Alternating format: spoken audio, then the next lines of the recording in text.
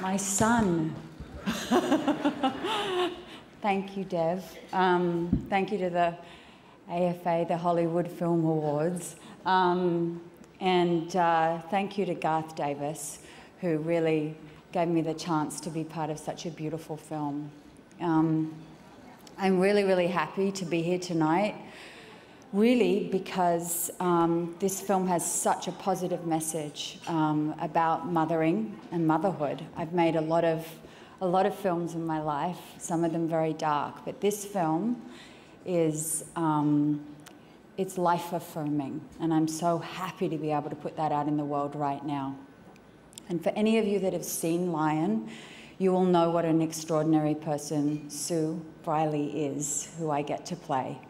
She, um, she had a vision, as you see. She had a vision that she would adopt a little boy who was brown skinned, and she had that vision when she was a teenage girl.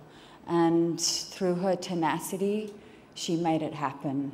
And, um, and then that set off the most extraordinary series of events that I think will take your breath away when you see the film because, um, because a little boy, the boy that she ended up with, making a family, she and her husband, and um, they made the family in Tasmania of all places. He got lost on a train station in Calcutta, and 25 years later, he was able to go back and find his birth mother.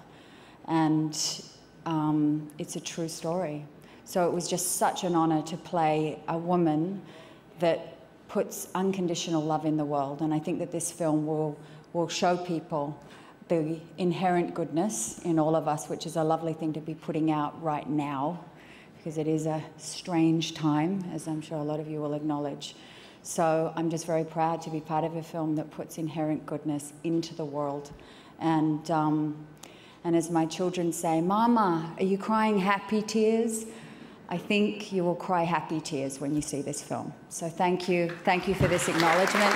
And thank you to the Weinstein and to David. Thank you.